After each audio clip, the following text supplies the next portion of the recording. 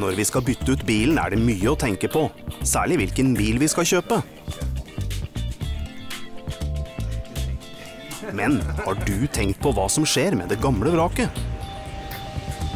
Om du velger å vrake den gamle bilen istedenfor å selge den, er du med på å bedre luftkvaliteten rundt deg i en ny og mer utslippsvennlig bil, og samtidig bidra til gjenvinning av sårt etterspurte materialer. 85% av hver bil gjenvinnes gjennom en omstendelig prosess på anlegg over hele landet. Først fjernes alle deler som kan gjenvinnes direkte. Mulige eksplosive komponenter nøytraliseres. Batteri og tanker for flytende gass demonteres. Oljefilter fjernes. Og væsker, olje, frostvæske, kuldemedier, bremsevæske og drivstoff tappes og lagres. Hos biloppsamlere over hele landet kan vi tilby salg av brukte deler til bilen din. Vi driver profesjonell bildemontering og har avtaler med forsikringsselskapene om overtagelse av skadebiler.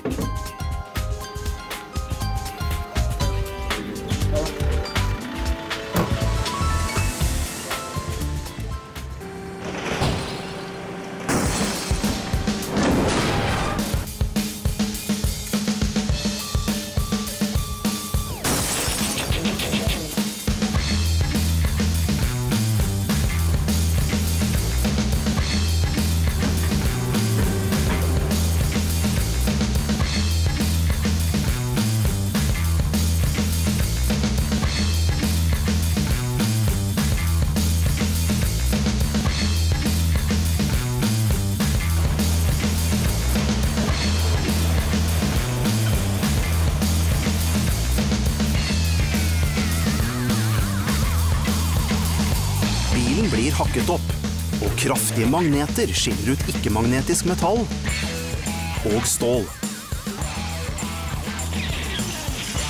Deretter kjøres alt som ikke er blitt sortert ut, gjennom mer raffinerte utskillingsprosesser til den optimale renhetsgraden er nådd.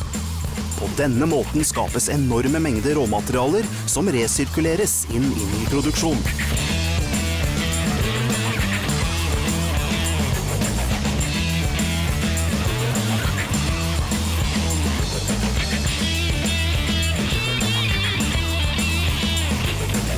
Fragmenteringen gjøres her i Norge, før råmaterialene distribueres over hele verden og kommer tilbake som produkter vi omgir oss med hver dag.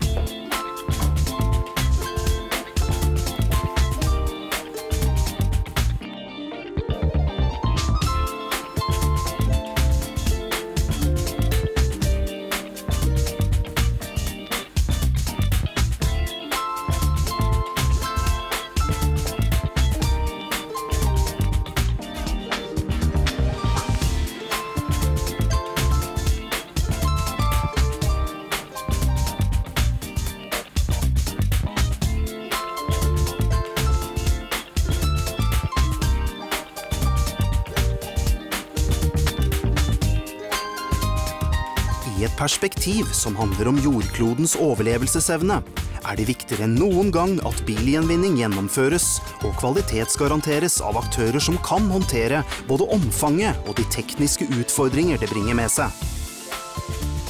Vi har alle et ansvar for miljøet.